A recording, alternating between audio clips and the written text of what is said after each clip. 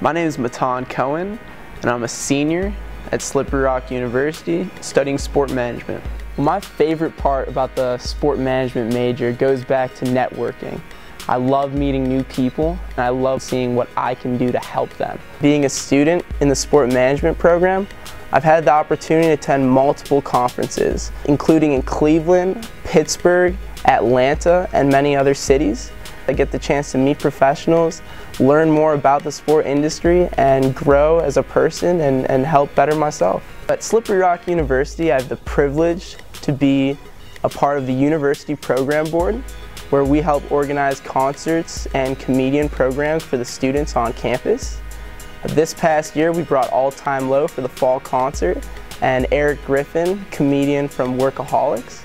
And I love being a part of this organization because I get to work with hundreds of students on a day-to-day -day basis. My lifetime goal after receiving this degree from Slippery Rock University is to become president of a National Basketball Association team.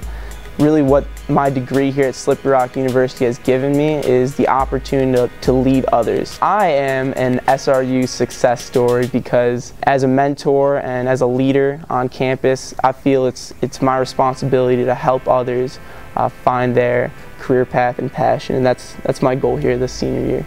My name is Matan Cohen, and I'm an SRU success story.